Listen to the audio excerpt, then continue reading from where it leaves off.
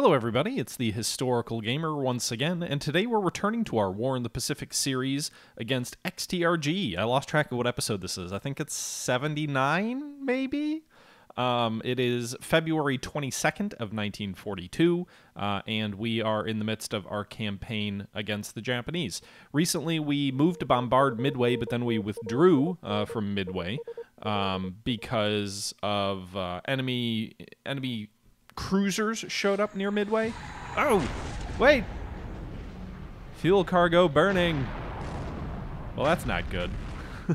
Japanese uh, submarine just torpedoed a cargo ship of ours. It had left, I think, Los Angeles or maybe it was San Francisco. It's on its way toward Australia. It's a bunch of AKs carrying fuel. Super inefficient way to transfer fuel to uh, to Australia, but uh, it is one of the ways that we're fueling uh, the ships over there, or the yeah the ships that are moving over there. Another Japanese uh, submarine tor- trying to torpedo a tanker of ours that's also on its way to Australia here, uh, bringing vital fuel into the Australian economy. However, that submarine failed in its mission and its torpedo missed. Japanese continue to bombard in Wangkao along the Chinese coast here. They keep bringing cruisers in here to bombard this force.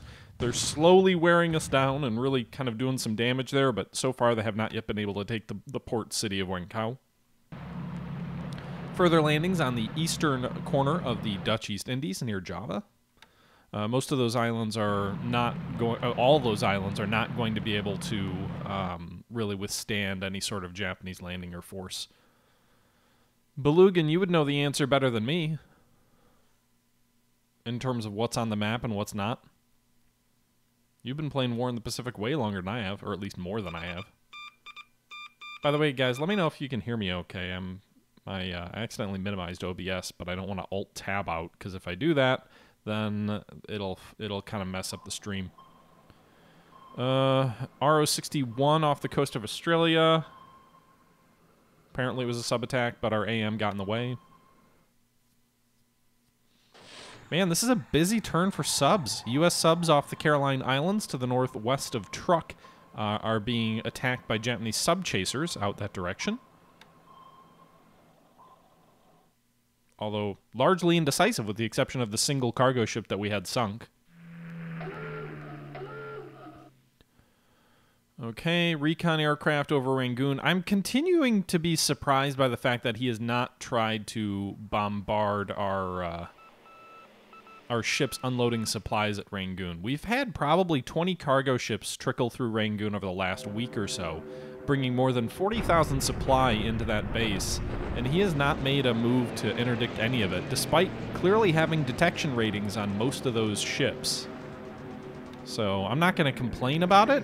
I, I, do have like 60 fighters there, so we could make an air battle of it. We'd lose, but we could make a fight of it. Um, but I, I'm just kind of surprised that he continues to be so passive there. His, his planes obviously have to be somewhere else doing other things. We have seen them bombing Singapore a bit over the last few days, and he's definitely been bombing parts of China pretty heavily. Um, we know we've spotted bombers off Timor, where I think he has some GM3 or GM4 Nells. You can see here a pretty large formation moving against our large Chinese formation here in China. 172 casualties, some disabled non-combat losses. Uh, moderate Sally raid here at Singapore. Didn't really do any damage to the soldiers. Follow-on Sally raids must have had some uh, penalties to coordination there. Another raid on uh, Singapore. He's using a lot of older, like, dive bomber, Army dive bombers. And we're reporting quite a few enemy aircraft damaged by flak, which I, get, I guess is good. Although it does eat up a fair amount of supply.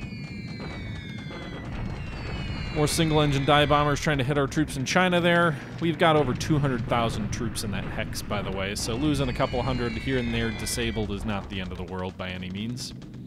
They're also in the process of trying to evacuate west to cross that river and retake that key city and kind of get back into rougher terrain in toward the interior of China without having our core army destroyed. As a reminder, he did cut the core, sort of our main army in central China completely off with some paradrops in our rear. And uh, we probably retreated the wrong way because the direction we retreated doesn't have a roadway to bring extra supply down, but Meanwhile, you can see our bombers. We brought the Chinese Air Force in from Chungking. We threw out a couple of bomber orders to the handful of bombers that we have here, our SB 3s and uh, DB3Ms. 26 bombers attacked Japanese troops in our same hex, inflicted 138 casualties, although just disabled, but still pretty good results there from the Chinese Air Force. Now we got a second raid coming in 12 more SB 3s and 7 A 29A Hudsons against his troops there. No fighter cover over his men and another 64 troops disabled. So good results there. Probably caught him a little bit off guard because we really haven't used the Chinese Air Force for anything. Um, so a little bit of a strike there. Was a little bit. Ooh, just a little bit. Ooh, just a little bit more. Okay. You again, you see he's he's flying fighter sweeps over the hex, but he's not flying cap. Okay, more bombing action here at Manila. Doesn't look like, or sorry, Bataan. Doesn't look like any damage done to our troops there. He's got really bad coordination on these raids on Bataan. Five lilies there, six Anns there. It is also a thunderstorm, so that's probably the reason he's not doing basically any damage to the troops there.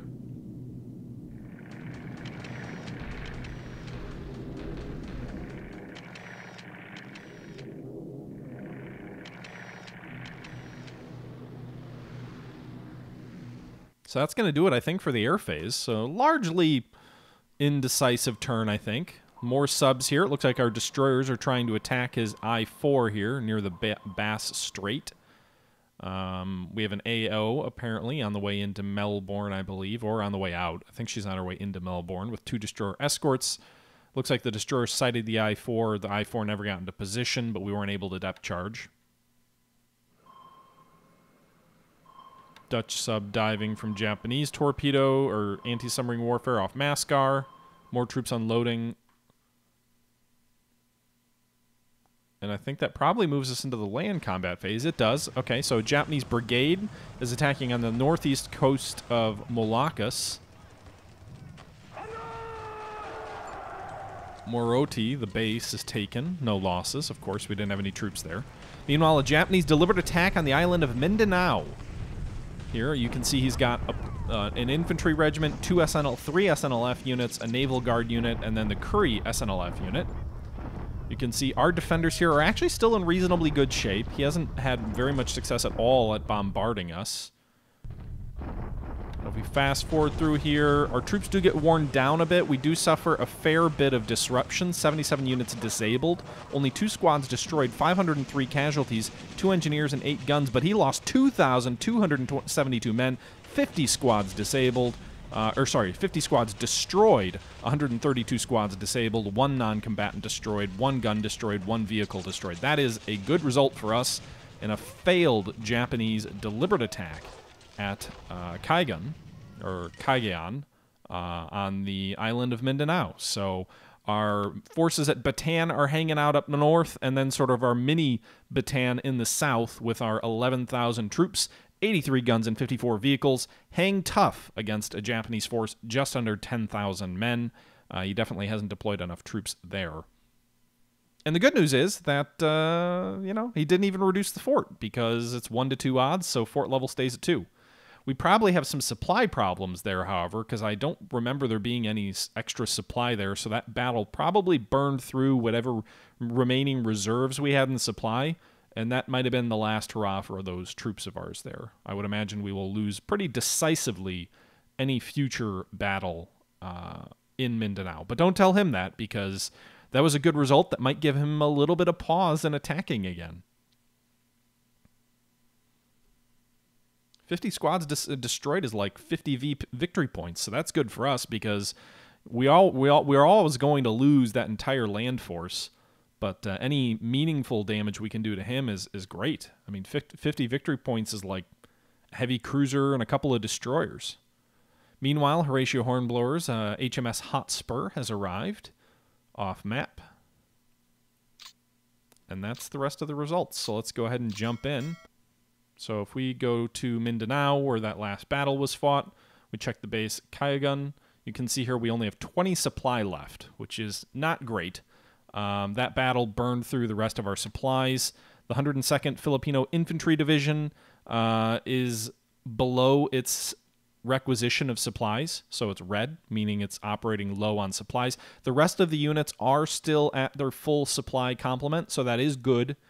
Um, that might mean if he attacked again that we would we would still have one more effective fight in us. Uh, but again, this is, doesn't bode well because we do use supplies over time, and um, yeah, so it's not a great you know. The the fact is these troops are going to surrender eventually. Um, I think the main hope is that now he he waits another couple of weeks or you know maybe launches a hasty attack. I do have one patrol craft, the Zeman, which has brought probably four or five thousand additional supply over the course of the last month into Bataan. Um, it is currently at Tarkin. It has suffered a fair amount of sys damage because it ran out of fuel at one point, but I am going to load it up with 635 supply, and I am going to try and sneak it into Kaigan. Uh, if I can get it in there, then you know that'll that'll go a long way toward getting all of our troops back up to snuff in terms of supply. Uh, it won't give us the required amount of supply of 1900 for like a full refill of supply, but 600 supply is enough supply to completely rearm these three regiments almost. Um, so I mean, it's not an in, insignificant amount. It might be enough to allow us to hold out an extra week or so. Um, we should probably make sure that we have these guys follow coastal, so they go a little bit more direct, but they also um, hopefully avoid any of his like task forces or anything that might be around. It's probably going to take two or so turns for them to fill up. They are slightly detected also probably by Japanese recon, so we don't want to be sitting in any one spot too long. Uh, if we make the base Kaigan, there's no fuel there, so flank speed would probably be a bad idea. We might be able to get him in, but we well, we don't even have enough fuel to get him in, so we'll just set it to uh, to mission speed. Um, but yeah, they're already spotted right now. Although a 4-4 detection, he might think they're a sub or something. I'm not really sure. Uh, meanwhile, you can see he's continuing to advance up the sort of eastern, southeast, or southeastern, southwestern portion of the Dutch East Indies. He's got troops at several other bases on Flores. Those will fall probably this turn. It looks like he's got task forces with some transports and cruisers uh, and other ships all sort of in and around Makassar. I don't think he's going to make a move for Java quite yet. I think he's probably going to continue moving up the islands to the southeast of Java. The reason for that is he has not even bombed Surabaya yet. We have 139 aircraft at Surabaya. Now, they're not good aircraft. They're not going to hold out against uh, the Kido Butai or large numbers of Japanese aircraft, but we still have 36 fighters here, and we have 75 bombers here. So, again, he can reduce us pretty quick but I don't think he's going to make a move to land until he's softened us up. And so far, we've seen basically no air cover over over Surabaya. So he may be waiting to get air units into position, but I think he will probably launch the bulk of his raids from Makassar, which is a level three airfield. Uh, I think that's the only level three around right now.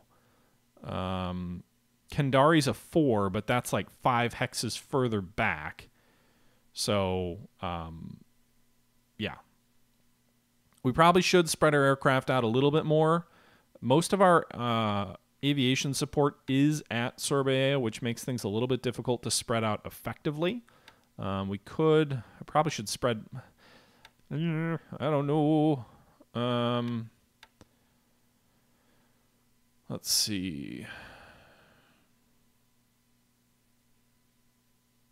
my AV support's a little bit, I mean, not super spread out, but we've got a regiment south here.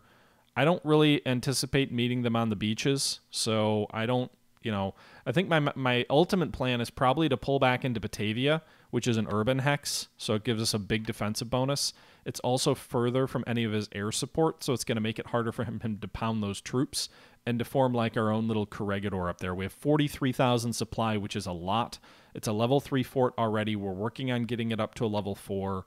Uh, we have a good chunk of our, our forces here in the south are at this base. Um, and I'm a little bit hesitant to put too much in the southern half of Java because it's going to be very exposed to air raids off Celebes. And if he does land north of any of those bases, like if he lands at Malang and we have troops to the south, they'll all be cut off and destroyed. So my my plan is more or less to pull the bulk of our troops back in Batavia and kind of await him there uh, and hang out as long as we can. similar to what we've done at uh, at Singapore and sim- similar to what we've done at Bataan. Bataan is still in good shape. We've got 29,000 supply there. We've got over 1,800 assault value here. We did bombard the troops here. He has two units here. They're two infantry divisions. That's all he has here. And he really doesn't seem to have much else on the Philippines. He's got 7,000 men at Clark Field. He's got a single unit at Manila. It seems like he's really pulled almost everything out of the Philippines, with the exception of these two strong divisions in our front. And we have a pretty good sense of that because we've got recon units at Bataan. I'm actually even of the opinion that if we launched an attack, we would probably win, or at least drive him back to Clark Field. But I don't think it's worth it at this time because the units that we have, you know, we would win, but it would be kind of a Pyrrhic victory. And I don't think we'd damage his divisions enough that if we went on the offensive and attacked into an area that he had fortifications, that we would have any chance to uh, pursue or anything like that. 29,000 supplies is is enough to continue holding out if we're not in active combat. Um, but it's really only like three or four full battle replenishments worth of supply here. So we're probably better off just kind of hanging out. I think we probably have at least a month left of supplies at Bataan. I'm not quite sure. Maybe you know, Belugan. What is the supply required equal? Is that like a week of supplies? Is it, uh, you know, it's more than a day, that's for sure, because it's not going down by 7,000 every day. Uh, I think usually it's going down by like a thousand a day at most, and that's usually only when he launches air raids against us. And I'm assuming that's largely because we're using flak to try and shoot at him. But um, I don't know what the actual supply total amount is. The total amount of supplies the troops need, right? But like, I don't know what their consumption habits are. I don't know how much they're using. I, I could probably switch them into rest. That might be a smarter idea, but um, but I also don't. I don't know. I don't want him to take unnecessary damage from enemy air attacks either. But he's clearly just trying to starve us out. So um, supplies are dropping by less than a thousand per turn. Um, I think a month ago we were at like forty thousand, so we probably have at least a month left of supplies. And with the the limited force that he has in place there, I think we can probably last into early April before Bataan falls. That would be my guess.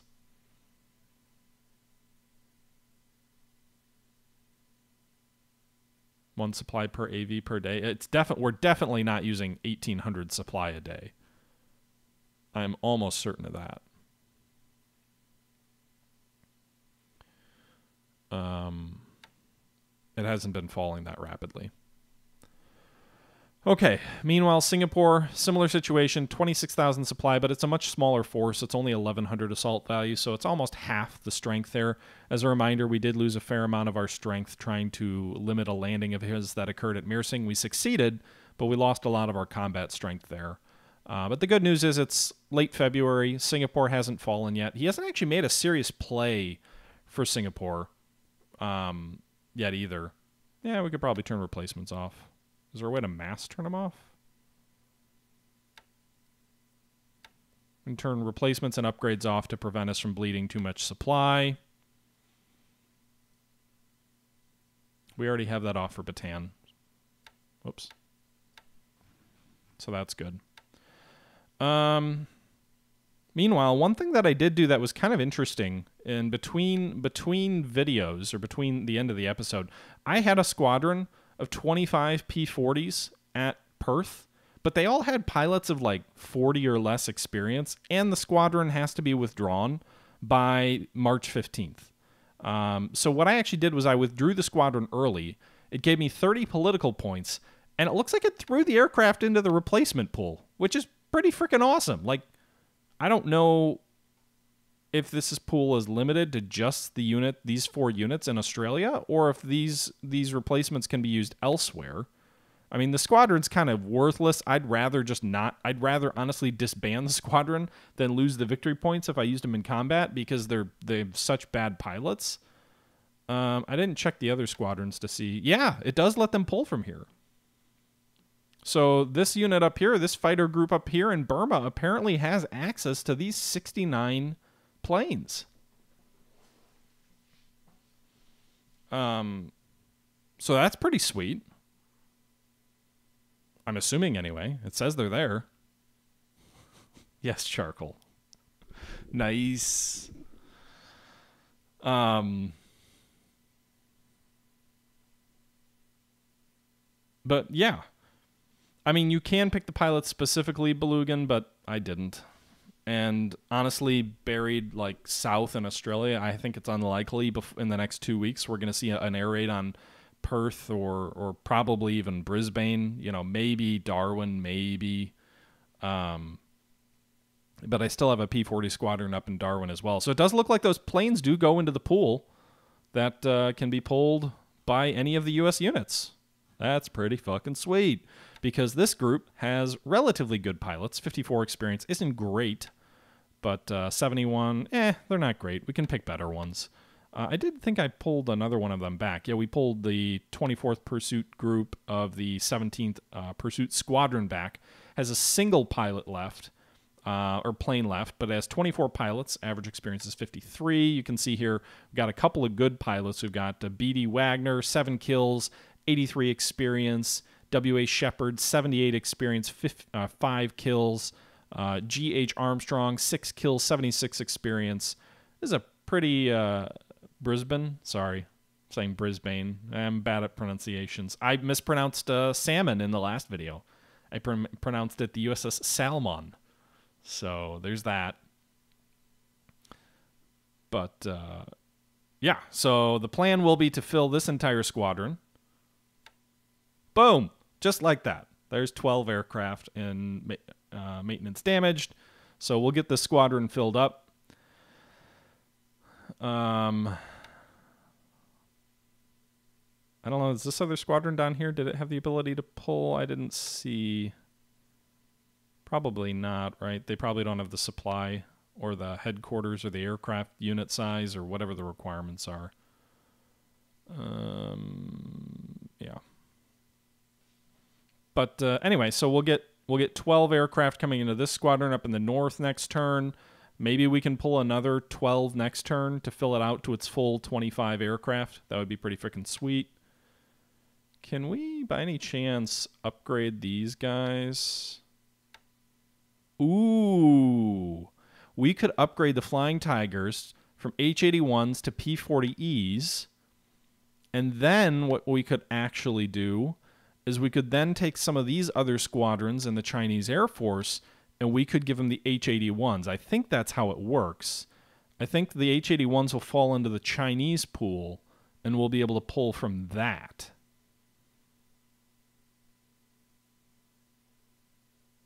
Well, what's a turn on replacements just to avoid having to micro every turn?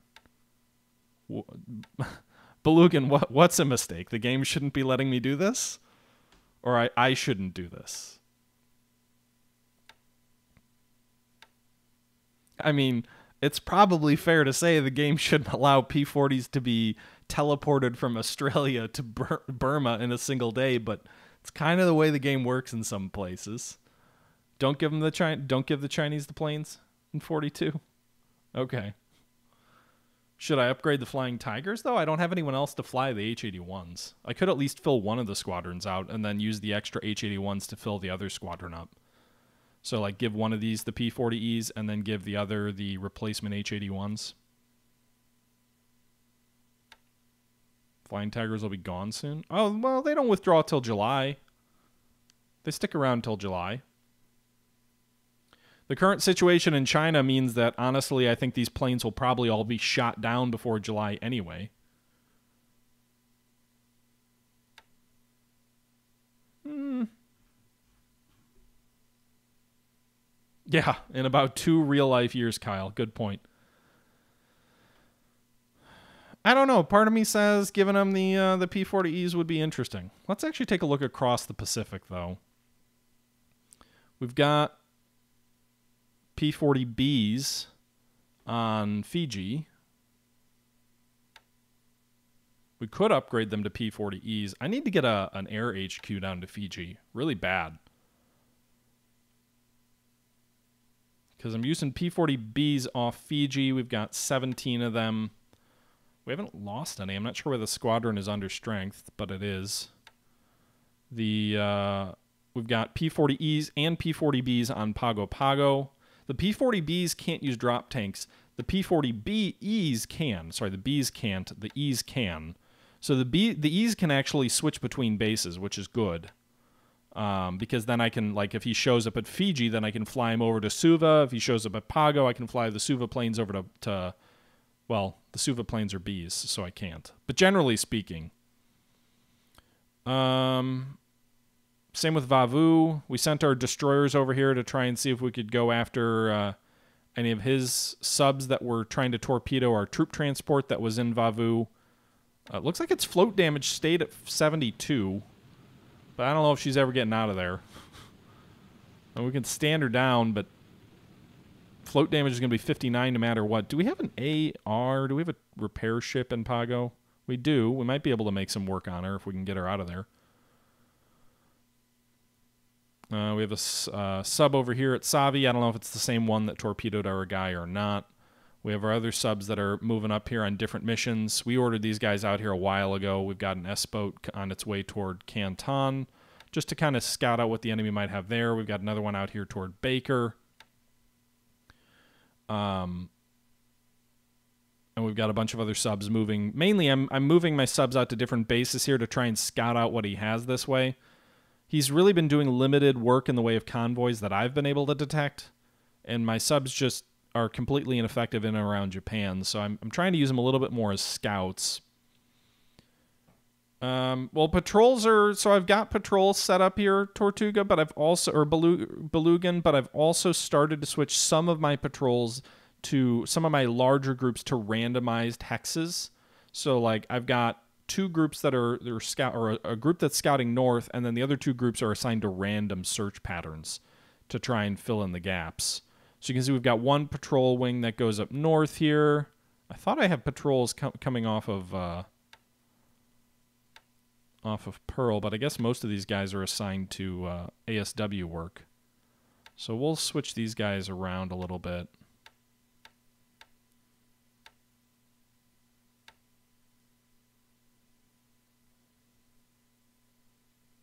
Just so that we avoid too much in the way of surprises.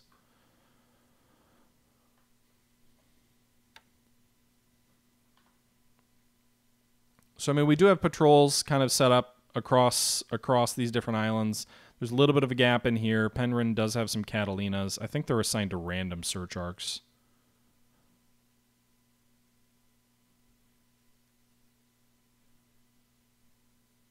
So I mean, we could set these guys to a like defined search arc this way, just to try and, you know, close things up a bit. So we've got a reasonably strong arc of uh, of recon here. Probably a bit of a gap south of Christmas Island, but I I don't know what he would be moving at in that direction anyway. Fiji has some search aircraft. Where are the Catalinas? Are they random? They are set to random. Um.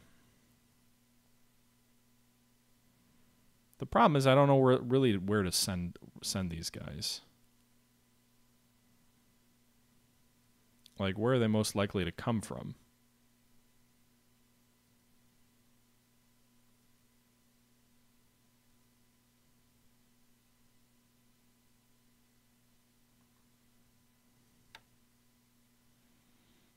Yeah, I don't know.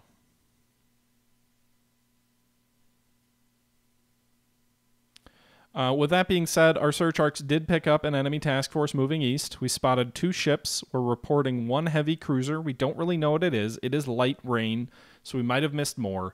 I don't think this is his carriers. Remember, a couple of turns ago, we thought we saw his carriers up north here at Midway, literally two turns ago, um, trying to go after our battleships, which uh, sort of did a hasty retreat.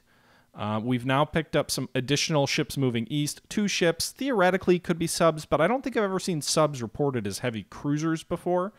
My assumption is it's he's got something and is moving toward Palmyra. So he might hit, hit us at Palmyra next turn. Now we we do have um, well, he didn't hit us last turn, so we do have three aircraft units at Palmyra, two B-17 units, and a B-18 Bolo unit. Um, we are setting the B 17s to skip bombing because we did modify the house rules. So the B-17s can launch a skip bombing raid. Now the problem is these guys are probably going to come in at night if they're moving at like flank speed, and they may hit Palmyra in the middle of the night. If it's a small cruiser task force, I'm honestly not too worried that he's going to ravage the airfield. We're not overstacked here. We've got 21 out of a potential 25 aircraft in support. We've only got 21 aircraft. Again, the base stack is up to 100. We've only got 72. He might destroy a couple of aircraft on the ground, more likely damaging a few. Um, but unless he's got battleships here, he's not going to nuke the island. And, and we know he had four or five battleships hitting us at Ambon last turn. So I don't think, you know, minus whatever he's got with the Kido Butai, I think it's unlikely that he's got a lot of battleships to send this far east. Also, they're such huge fuel guzzlers that doesn't seem a likely outcome. Additionally, we do have some Catalinas out this way and some B 17s out this way as well uh, that are being ordered into search patrols, as well as the Catalinas are being ordered to bomb them as well. So we've got searches and we've got bombing strikes. Hopefully, we can pick up these guys and we can get a good strike on him. If he doesn't have any aircraft, um, you know, then uh, then then not. Um, no, I don't have any way to mine the base next turn, unfortunately. That's something I've been doing a poor job of. I uh, I have not been doing a good job of mining my bases. I have noticed that I don't have much in the way of mines to begin with, but nothing with regards to. I really haven't done much with mining. The one thing I was gonna try and do is I did send a task force, and this is probably highly inefficient, but with as worthless as my subs seem to be, I did send a task force out with 84 mines. There's actually 92, 96 mines total between the two, but these guys have to rebase somewhere else that are going to go to Wang Kao he literally, like clockwork, the last four or five turns has been well more than that. Really, like the last three weeks, he's been using cruisers on bombardment runs in Weng Kao nonstop. And I know 96 mines is so few, it's probably unlikely that it's going to do anything, but I am going to throw the mines with submine laying into Weng Kao. Maybe we'll get lucky and one of his cruisers will run over uh, run over uh, one of the mines. Dill Pickle Pickle Pickle. This is War in the Pacific. Great name, by the way. um, this looks way more intimidating than it is out out west here near Truk. Just a lot of anti-submarine patrols.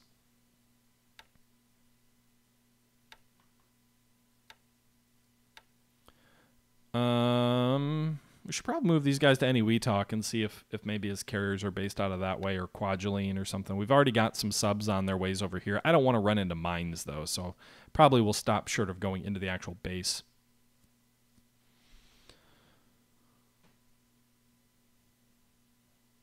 Um... So we'll see what happens in and around Palmyra. I'm kind of curious to see what... Uh, uh, what'll happen over this way. Hey, Dill Pickle Pickle, thanks for Dill Pickle Pickle Pickle, thanks for the follow. Jopa Bird, thanks for the follow. False Caesar, thanks for the follow. And Space Game Junkie, thank you for the follow. Sorry, I have my for whatever reason my notifications are turned off at the moment. Normally, you get a nice little drop down, Civil War, Rebel Yell, that kind of stuff. Um, as you remember, we did see an enemy sub off the coast of Australia in the Bass Strait. We've got a couple of AOs that are on their way into Melbourne. We've ordered them to crank it up to full speed to try and minimize the likelihood that his subs uh, catch us or that his subs get a good fix on us. 16,000 uh, fuel on the way to Melbourne there. We've got an additional 20,000 coming in from Los Angeles on these two tankers and a, a Corvette escorting them. Uh, and then we've got uh, two empty Dutch uh, fleet oilers, kind of crappy fleet oilers, very small capacity moving out to Perth. Um, I'll probably set up an ASW team. I don't really have much in the way of ASW currently at Melbourne. I've got like a single destroyer. I don't know if I have an AM or nope, just the single destroyer with the level two ASW skill, so not not great. But we'll move them out that way.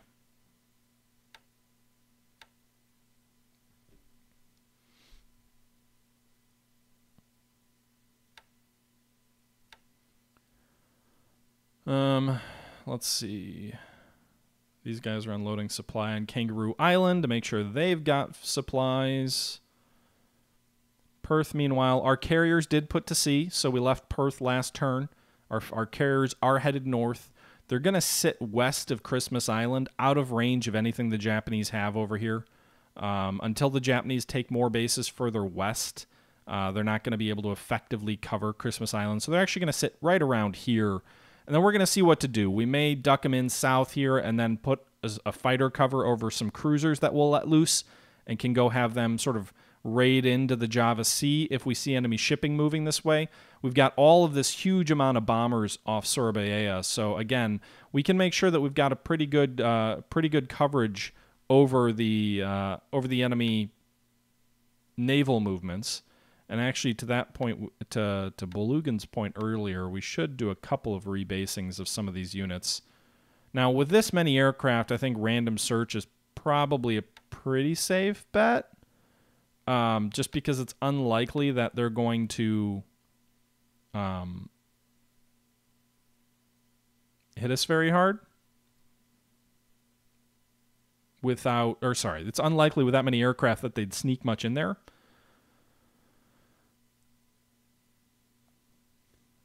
Here's the thing, Belugan. The carriers are moving north. I know kind of what's going on. I know that, or I believe I know that his carriers are out toward Midway. So I do know what like bases he can stage out of. He can stage out of Makassar, he can stage out of Kendari, he can stage out of Timor, or sorry, Koepang. Those are the airfields that he could have bombers out of, and that we have some indication that he does. The bases he's, he's taken down here so far are all underdeveloped. They don't have the ability to carry large aircraft numbers. He hasn't taken any bases in the north that are able to support anything except for Swing Kang. Sorry, those guys can't reach there. Um, so in terms of what we know what's going on, we know it is relatively, we know it is pretty damn safe west of Christmas Island.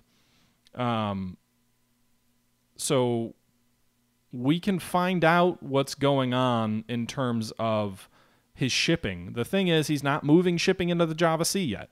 We know that he's going to move shipping into the Java Sea. We're pretty certain that he's going to start an air campaign against Java in the near future. He's going to have to base it out of Balikpapan, Makassar, Kendari. We know that he's going to have to send naval assets across the Java Sea to force a landing. I would imagine he's probably not going to land directly in Surabaya. That has too many coastal guns, and he's got too many veteran players that are sort of coaching him in this. The likely landing points to me seem to be Benjuangi. Uh, that would probably be the most likely, unless he's going to stretch himself north toward Tejapo. But Tejapo is is really beyond the reach of his effective air cover, unless he you know moves in to take um, Bandjermasin first, and that would give him a much better reach. So that would actually probably be a logical place for him to go next. Um, he hasn't landed there yet. He may be going that way with some troops next, but that would be the logical staging point with a level 3 airfield to really control Java. Until he does, though, our aircraft carriers are pretty damn safe to sit anywhere out here and then if we see an opportunity to race in, if we see too much danger, then we can always fall back. My intention is not to be reckless with the carriers, but to be um, in a, in a position that we can take advantage of the fact that we believe his carriers are elsewhere. Um, so, you know, that's the situation right now. I, he hasn't even started to bomb Darwin either, so I think that's unlikely. I mean, we've got we've got Wildebeest, we've got torpedo bombers there um, with different units there. We've got 240 assault value there, which isn't a ton. It's not great. He'd have to land probably like a brigade or a division, a full brigade or division. We've got level three fortifications. I, you know, I, I don't think he's going to land on Darwin anytime soon. The entire thrust of his movement and his effort has all been northwest, unless that's all some sort of rouge. But I, I don't uh, ruse, but I rouge, uh, ruse, whatever words. But I don't think that's likely.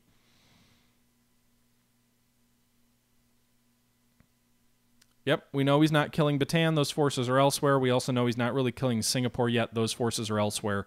Uh, we have seen considerable forces in the south near New Caledonia. We know he landed at least a full brigade on New Caledonia. As a reminder, he did take New Caledonia. Um, he also has taken all of Espiritu Santos, so we're way behind there. He could be moving forces east toward Palmyra. That is definitely a possibility with the uh, with the spotting of the cruisers over this way. Um, Guadalcanal is already Japanese, so that's not a thing that we uh, that we need to worry about. Um, you know, hope he doesn't take Old Caledonia. Yeah, we know he landed a brigade here. He landed a brigade on a completely unoccupied island at uh, Morotai, um, or a BDE, maybe not a brigade, but whatever a BDE stands for. We've seen a division spread out between Borneo and Celebes. He landed parts of the 4th Division on Celebes, parts of the 4th Division on Borneo. He landed a full brigade on Timor. So we do know that he's going to, you know, he's going to have several forces in and around this area. I just think it's highly unlikely based on anything that we've seen that he's going to do Darwin. And frankly, if he doesn't do Java, if he if he moves forward toward Band Germazen, again, we've got an opportunity to to take advantage of the fact that uh, his the the bulk of his naval force seems to be elsewhere. And you know what? If we don't do anything, we can always pull the carriers back too. The goal at this point with with our forces in this region is to give him a bloody nose, to make him pause, make him think, make him reinforce areas that he he doesn't have enough strength in yet, uh, and and that's really the goal is to really just make him pause and slow down a little bit. It's not to expose the carriers to undue risk, uh, but we do need to remind him that they exist. I really think the Palmyra mission may be an attempt to lure our carriers out. He may think the carriers are still at Pearl, and he's trying to go for a base that he thinks like would be completely, you know, um, something we have to defend. It is worth 300 victory points. I don't have enough reinforcements here to really hold versus any meaningful troops. We got a Marine Defense Battalion plus the in there. That's the only thing we've added to the base so far. We did have troops on the way there, so we do have uh, reinforcements. The Second Marine Field Artillery Battalion here, uh, which is an additional, well, uh, apparently not an additional 12. It, it's basically just some howitzers.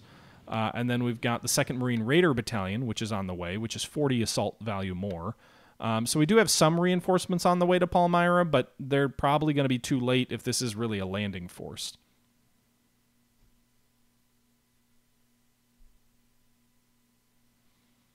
Um, Christmas Island's in much better shape. She's got a Canadian brigade uh, just kind of hanging out here.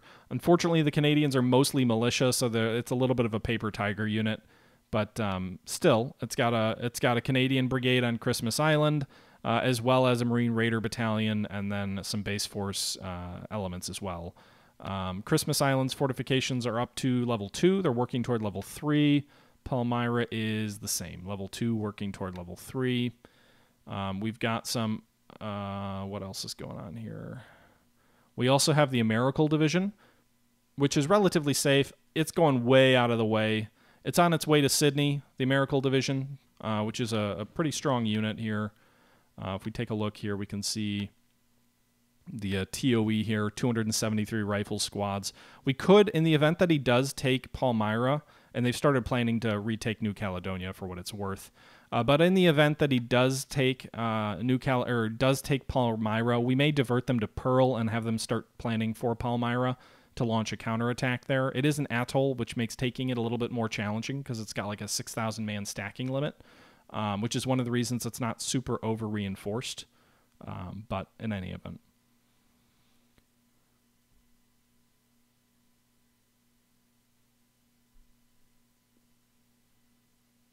Uh, in terms of victory points right now, the Allies still have more victory points. We've got 10,443. The Japanese have 8,386. The Japanese win an auto victory if at the end of 1942 they have three times the Allied score. So here we're going okay. But when we start losing some of these land forces at like Singapore, for example, we're going to lose a lot of victory points. I think it's one victory point per squad. So like losing this division is going to be like 300, 400 victory points just uh, just by itself, just losing these troops. I don't think support counts. I think it's just infantry sections. So maybe more like 300 assault value or 300 victory points. So like losing Singapore is going to be kind of a disaster. Um, as it historically was. The same goes for Bataan, but the likelihood of him getting to three times our score uh, in the near future seems to me pretty low. The big risk is back out in China, where we've got this whole force, six, uh, 200,000 men, um, 6,000 assault value all back here, is currently cut off. They have supply, but not enough. They've got you know 19,000 is a complete resupply. All the troops are do have supply right now. They're in uh, Xiaoyang, but their supply source from Chikikong is cut off by a para unit that dropped in our rear. Now, these troops are withdrawing. They are moving back. So, all but one unit, which is going to be a rear guard, are all moving back toward this base. They're actually probably mostly going to, half of them are going to be in this hex next turn, the other half the following turn. And then we're going to go back this way. We're going to cross the river and crush these guys. We'll be on the other side of a river and we'll be in rough terrain. So that'll be good for us. The only bad thing is he can move north here and cross the river a little bit further north and get in toward Chungking. So that is a threat. That's also a very good roadway back there that he could make a straight shot for the capital, which has a huge fortification, but not a lot of troops in it right now. Um, we know he's got probably the bulk of his 5,000 assault value was at Changsha. He's moved some of them north, threatening toward Changteh. We don't have very much here. That's going to fall if it gets attacked. We do have reinforcements on the way here about 1300 assault value that are trying to get down there, but he might win the race there. It's going to be 2 or 3 days before before we get there.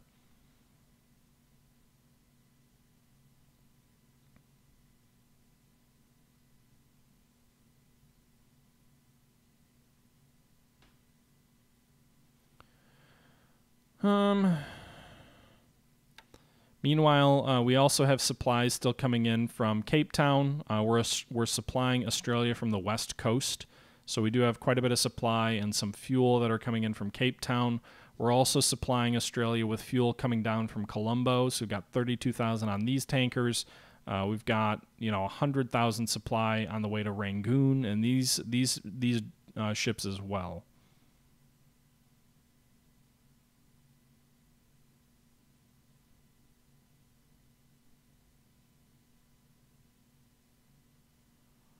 Okay. We are working, I believe, on our fortifications all along the Australian coast, uh, just in the event that he makes any kind of landing there. We do have uh, not a ton of troops in Sydney, but we do have a fair number of troops sort of back out off the coast at Wagga Wagga. We just are about to form an Australian division here. Uh, we also have some troops that are forming up at Toowoomba as well. Um, the 2nd Australian Cavalry Brigade is out west there. Uh, the 6th Australian Infantry Division, a crack infantry division, is on the way down via transports to Perth. Not sure where they are at this point. Here they are. So we've got the crack 6th Australian Division. Uh, some of the Desert Rats are moving down to Perth. Uh, they're making pretty good progress. They're they're they're headed down in this ge- this general direction. It's actually another good reason to put the carriers out here is to screen these guys because we can't afford to lose these guys at sea. Uh, this is a, a, very good unit that's coming down. If we take a look here, there is 72 experience, um, 83 morale unit with very good troops and support.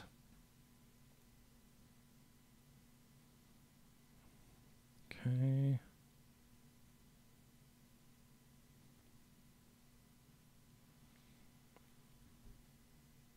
Uh, we also just got the seventh division, by the way, as well, which is also on the way. I think we ha- currently have it tasked for Karachi, but we might actually move it to Australia instead. Um, again, it's another another very good division spread out over a lot of transports. But if you take a look here, it's it's worth.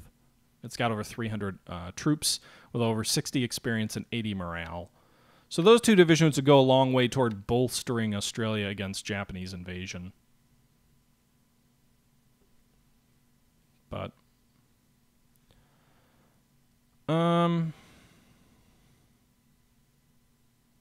yeah, I don't have a lot else to show you guys this turn. I know it's a little bit of a shorter stream. Actually, no, we've been going almost an hour. Not sure if there's anything else you guys want to look at. Our battleships at Pearl did fall back here. Um, they're all kind of sitting back at port. We've got six battleships ready. Uh, we've got three battleships repair, repairing. One of them is 35 days away, the Oklahoma. The rest of our battleships have pulled back to the U.S., again, where they're under repair as well. The Pennsylvania, the uh, I think the Arizona is almost repaired as well. Yeah, she's, well, no, 88 days for the Arizona, 32 for the Maryland. Um, if we take a look at ships sunk so far in the war, we really haven't lost much in terms of like really valuable ships anyway. So we've lost a fair number of ships, but the most valuable ship we've lost so far is the USS Houston. Uh, it is 35 points. We've lost a couple of uh, troop transports, which are valuable. The President Coolidge, 34. The uh, Ringatada, 21. Uh, one tanker, the Saland, was 18. The British Motorist was 20. The Pan Europa was 28, and the Herberg was 23. So a few tra- a few tankers that we've lost uh, that probably hurt us the most. We did lose the the AV Langley, the Fleet Oiler Pecos, um, and a couple of other troop transports. Uh, against what we're claiming of the Japanese, we did not sink the Kongo. We did not sink the Fuso, but we did sink the Haruna. Haruna. We have confirmed the Haruna sank. Um, I don't think we sank the Maya, but I'm sure, pretty sure we sank two to three enemy light cruisers, um, as well as supposedly a bunch of subs. I don't know if that's true. I know we've sunk a few of them at least. Um, yeah, the enemy screwed up Pearl real bad. He uh, he we did it where he could modify his turn one stuff, and he sent in his zeros on like strafing at 100 feet, and they got mauled. He lost like 30 or 40. Um, he lost 30 or 40 uh, zeros in the attack on Pearl, and by I mean zeros, I mean not 30 or 40 total planes. He lost 30 or 40 uh, AM62 uh, or A6M2 zeros at Pearl as well as um, a few of his other aircraft. But he did not have a very good Pearl. He didn't sink a single battleship at Pearl. Um, if we take a look at uh, top, well, we, let's take a look at aircraft losses. Not a lot last turn, but if we take a look at since the game started, we're claiming anyway 251 Japanese Zeros shot down, 113 in air-to-air combat, 66 to flak. I want to say like half of that was per- more than half of that was Pearl and then three ops losses. He's also lost 168 Sallies, um, most of those over Singapore. Um, and we've lost a fair number of Buffaloes and P40Es. That's to be expected. He lost 70, 140 actually, Nells and Bettys. About 60 to 70 of those were over Clark Field, where we got in on a couple of his bomber formations and shot him up pretty good. So I think the biggest loss for him so far is the fact that he's lost so many zeros. That's a lot of experienced pilots, especially the ones over Pearl.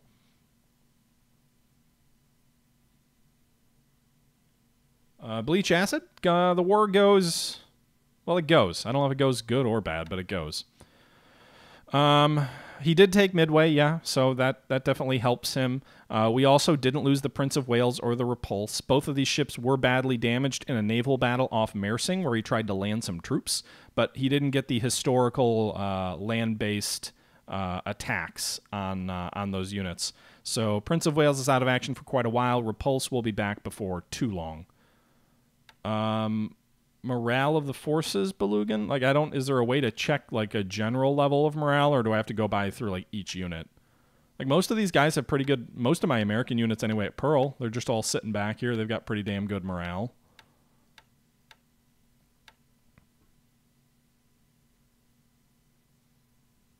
Oh, morale of the troops. You know, I'm a little bit a little bit frustrated at the loss of New Caledonia. I did reinforce it slightly, but it wasn't enough. Uh, that that hurt. He took that about a month ago. Um, you know, the fact that he took a lot of these Eastern Pacific islands where I just didn't have the ability to get troops to was a little bit frustrating as well. We we actually retook Baker after he took it, and then he took it back. We only sent in like a fraction of a base force unit with a few infantry units, but we did manage to retake it briefly. Um, he's just got a lot of small little landings way out ahead of where they historically took, and I wasn't quite prepared. I did beef up Suva and Nadi pretty good. Uh, some of it with Australian units, some of it with American units. We've got a full Australian regular infant or New Zealand a regular infantry brigade down here. They've got regular troops. They're not even militia, so these guys are pretty good. We've also got the 161st American Regiment, which isn't very. It's pretty green, but it's that's a pretty strong force at Suva. Um, and then Nadi has a, a, a stronger force in terms of assault value, but they are all militia troops. Um, we'll have the first Australian division here shortly, assuming our transport doesn't get sunk. We've got the fraction of the 41st uh, Australian Battalion is heading east. These guys haven't been detected yet either. We haven't seen any aircraft operating out of New Caledonia. Um, so if they get to Nadi, then we'll form that up into the first Australian Infantry Division. Um, and I think I think Suva's in pretty good shape, or um, uh, Fiji's in pretty good shape. Uh, Pago Pago is also in relatively good shape. We've got the 8th Marine Regiment, the 34th U.S. Infantry Regiment, uh, both down here. So two good American units on Pago. We've kind of been making Pago our uh, our forward base. It's got a four airfield. The, the idea was this is sort of the rock to build our Fiji line on. We ended up making Fiji pretty strong too. It's at level three forts. They're getting closer to level four fortifications. So that should help the fact that these guys are pretty brittle. Um, I'm sure he can take any one of those bases, Belugan, but he'd have to commit a strong force to it, I guess is the point. Um, also, it helps that we've got a reasonable uh, air wing at uh, at Fiji. You know, we've got 127 aircraft. Of those aircraft, 53 are fighters, all quasi modern, although the Buffaloes aren't great. I'm really curious about the quality of his fighters on his uh, on his carrier groups, though, because if he lost 30 or 40 zeros in the first mission, he probably lost a fair number of experienced pilots. Um, we also have airfields at Nadi, which we can switch some of our air units over to. Um, we have Pago Pago, which has another 50 modern aircraft. Uh, the P 40Es can transfer west toward Fiji as necessary. Uh, we've also got some B 26 Marauders, which have come in here. We've got uh, a further unit that's unloading here with some additional supply. Uh, they actually just unloaded this new uh, this new group here with the the 19 or sorry 16 P40Es and the B26 Marauders. Those are new; they just arrived. Uh, we have troops that just landed on Vava'u. This is going to be sort of the central linchpin between Suva and Pago, allowing us to shift forces between the two. It's kind of an idea of like overlapping forts. Um, so this has the ability to be a level four airfield with a level three port. Uh, we landed a, a strong, uh, or we landed portion of the Second Marine Regiment. Uh, we also landed the Second USMC Parachute Battalion, uh, and then we were potentially going to pull forward the uh, one of these, the other parts of the Second Marine Regiment once we clear the sub out of this area. He landed on Savi. That is true. He there were no troop. I, I mean, it was like two troops on Savi. It was like a fast transport, and uh, he overwhelmed the uh, the native base there. But we didn't have any troops there. So we also stopped an invasion of Raoul. We sank uh, a couple of his destroyers that were trying to do a fast transport to land on Raoul, and we intercepted his, his force there and sank it.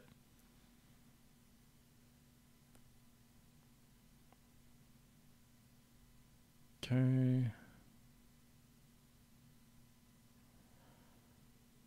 We have additional reinforcements that are on the way.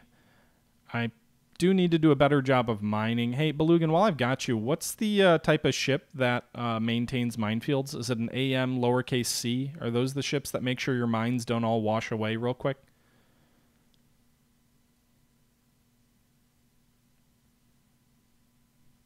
Or is it the ACMs? I feel like I don't have any ACMs.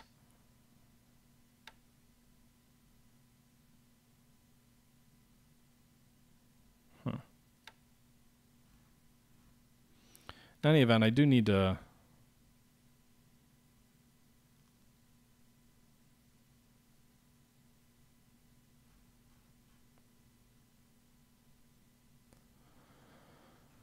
I don't have a lot of mine layers. I've got some destroyer mine layers.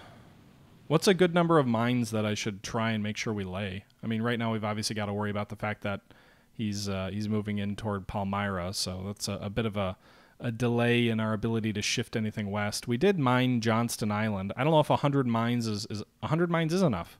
Well, then maybe maybe we'll mine one of his cruisers. We're gonna have 96 mines at Wencao between these uh, these subs that are gonna be dropping mines here. Maybe we can give one of his uh, cruisers a little bit of a of a bloody nose. That'd be exciting. Meanwhile, I did mention that the carriers are moving north. Um, as a reminder, we've got uh, Admiral Raymond Spruance in command of the Yorktown Indomitable Task Force. Uh, and then we've got uh, Admiral Bill Halsey, uh, William, William, is it William Bill Halsey? Uh, in charge of the three carrier task force over here, the Enterprise Saratoga Lexington. We have a couple of extra cruisers if we want to do like a cruiser sweep or something like that under fighter cover um, or, or wh- wh- whatever. Uh, the dive bombers are all currently, all of the bombers are currently set to uh, stand down at the moment. Why did these guys, how did they get so much damage? They're all ordered to stand down. Why are there so many maintenance? That's weird. Wonder, wonder if they recently upgraded to new aircraft.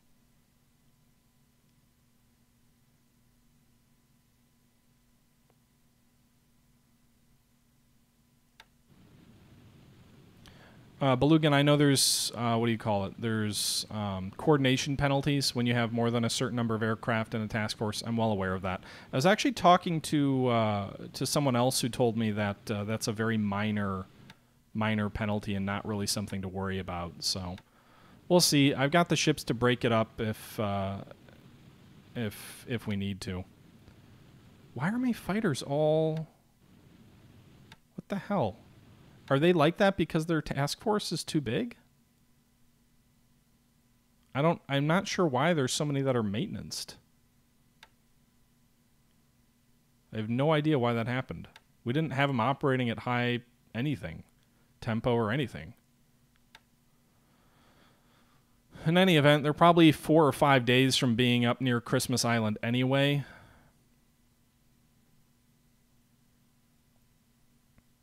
So we'll see.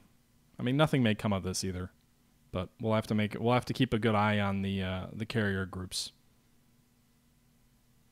I don't. I mean, maintenance is a thing, but I think probably what we would do is if we do end up sending them in, and again, I'm not going to send them in right now because I don't have any intel on anything in here to strike. But if I do send them in, I'd probably only send them about this far, maybe this far in and uh, I'd have to do the math off the hexes to see where the Bettys lose their torpedoes because that's kind of the the logic that we would use. And then um, I think it actually might be like back here, but um, in any event, we would only send them in far enough to be able to either s- provide air cover over some cruisers as they dash in and out of the strait down here, uh, which is yeah, right around here would be the fighter range to to cover guys out to here.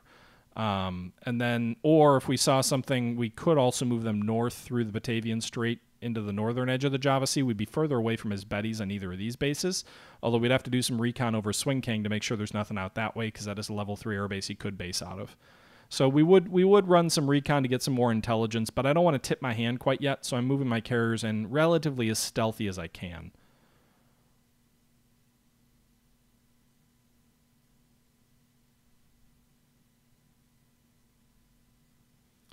So what we'll probably do is I'm trying to hug the coast of Australia at the moment because we did have some intel on enemy subs that were interdicting shipping going in and out of Perth. They didn't get a detection in on our cruisers or on our carriers, and our carriers did get by them. So my plan will probably be to move them up to about here and then swing them out further west, uh, and then either coming in north around here or south around here. I will butt the uh, the task force out a bit.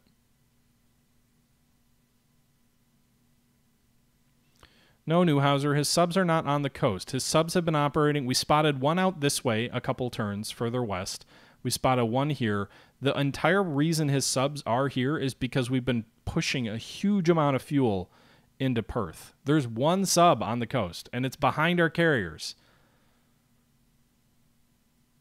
I'm pretty sure it can't catch up at this point. I mean, maybe if he goes flank, but he doesn't even know we're there.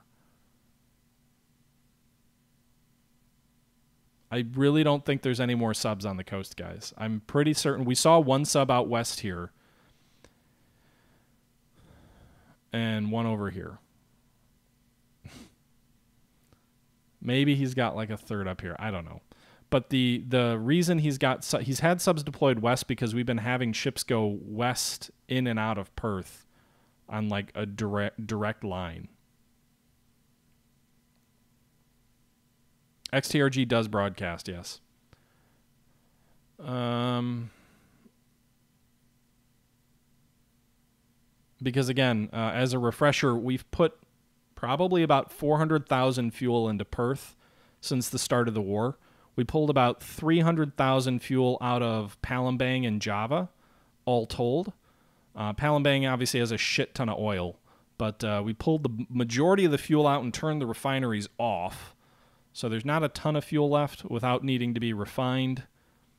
Um, and then we pulled all of the oil that started in Java out, all of the fuel that started in Java out. Although that some of those figures have started to kick up a little bit uh, because he started throwing subs in and around the straits near Oosthaven and uh, and whatnot. So that has slowed our withdrawal of fuel and oil out of uh, out of Java. But we we have pulled about 300,000 fuel out of the Dutch East Indies, and we've brought 100,000 or so fuel out of the Middle East, all flowing through Perth, which has to be one of the busiest ports in the world right now. And then that fuel is making making its way probably somewhat inefficiently to the Australian East Coast. You can see we've got 32,000 fuel at Melbourne. Um, Sydney has 329,000 fuel. So there's quite a lot of fuel in uh, Australia as a whole. Um, it looks like a, a, large amount of it's at Sydney. We've got over 100,000 fuel at Perth as well. Um, all trying to do our best to keep the Australian economy sort of churning and producing supply for us because Australia can really s- provide all the supply you need uh, if if you keep enough fuel coming into it.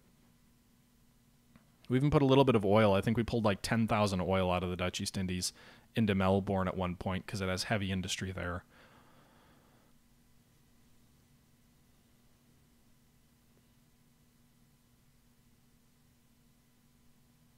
Um, we haven't put in it, so we put about 400,000 fuel into Perth.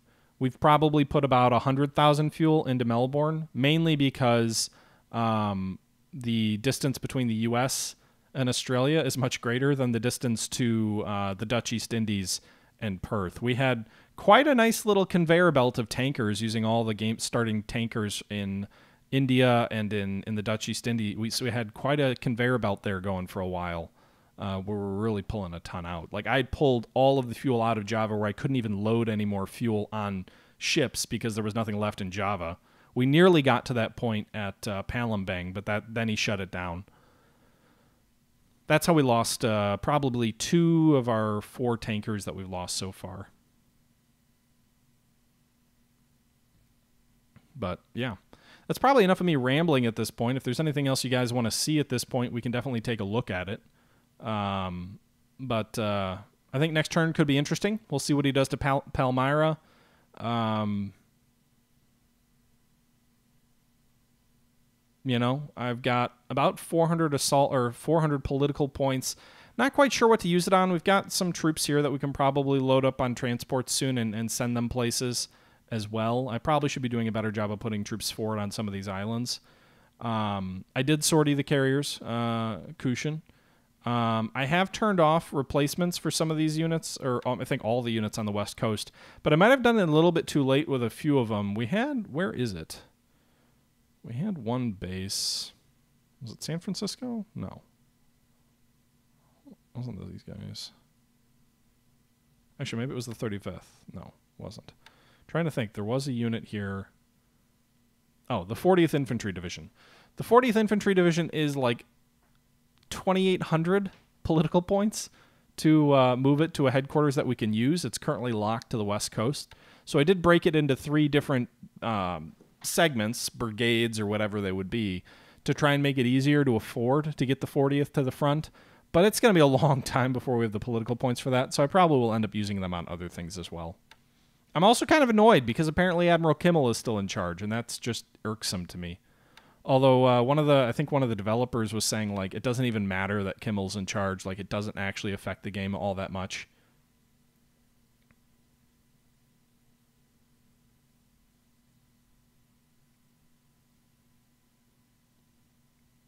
Carrier air group assignments? You mean like their orders? I'm mostly just having them sit on the deck because I don't want them seeing Dauntlesses or Devastators spotting subs. So right now they are currently stood down because the last thing I want is him having a, a sub out this way and he sees, oh my goodness, there's a Dauntless. I should probably, you know, be aware of that. Like, they're blind for now, uh, Belugan. Yes, they won't be forever. But once I get out past Australia,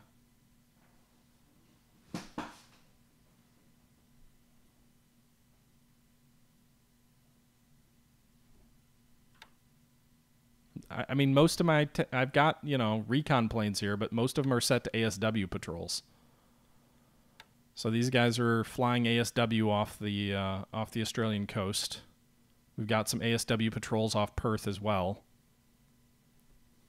I don't have any naval sighting on the west coast of Australia.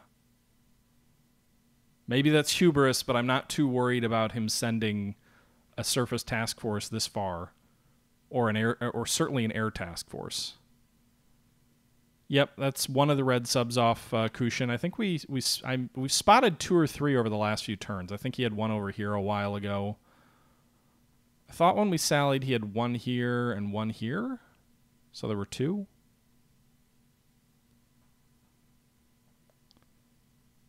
What What do you mean? What's my CV sighting? My CV's not. There's nothing. He hasn't detected it. If that's what you mean. There's no detection on the on the carriers.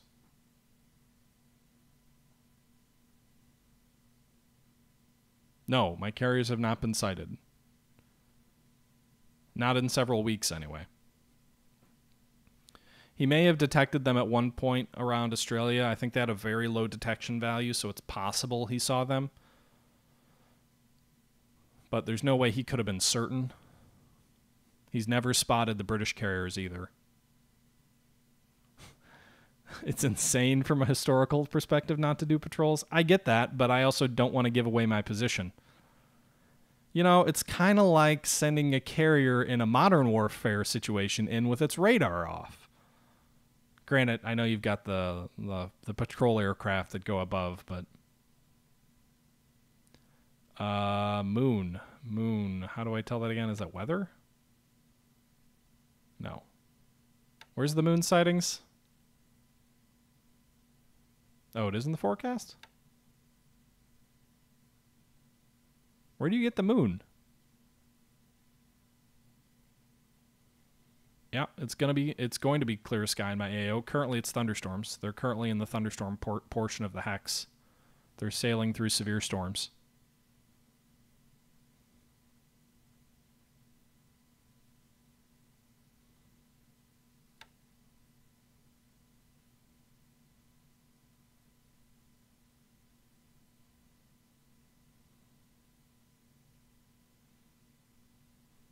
Oh, moonlight up here, fifty-three percent. Um,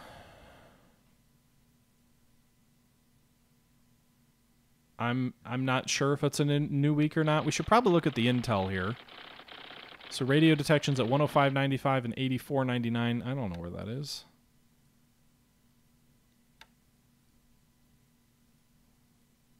One oh five ninety nine. So that's probably these guys. Or close.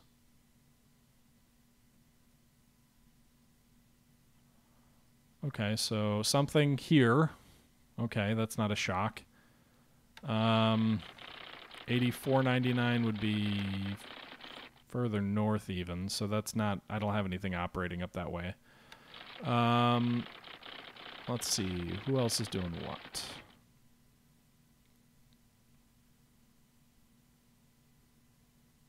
Radio detection at Saipan. Construction is located at Shanghai.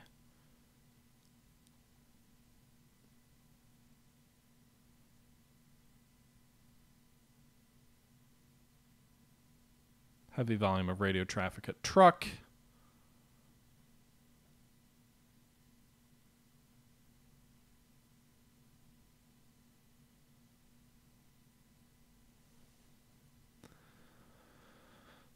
Um, Belugan, I'm a I'm a War in the Pacific novice. You should know that. You gave me a mixture between Midway and Coral Sea in April of 40, 42 when we played. One carrier sunk, one badly damaged. Fleet carriers. Although I did chase your carriers down with my uh, uh, with my heavy cruisers. I ran my heavy cruisers so far that they ran completely out of fuel on the northern coast of Australia. I sank your carrier, and then I literally had like six heavy cruisers just sitting here with absolutely no fuel for like five days until I could race some fleet oilers down to give them some extra fuel. And uh, I was just thankful that you didn't turn your carriers around and finish them off because they were just sitting there floating. Uh, that would have been a great. Uh, that would have been a great turn or a couple of turns for War in the Pacific series on YouTube. Uh.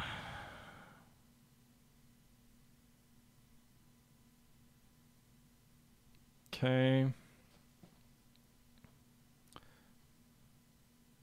Well, uh, the only difference, Belugan, is that in my case, you you sank one Japanese carrier, you crippled another. It was going to be out of service for like a year, and then another was going to be out for like two months.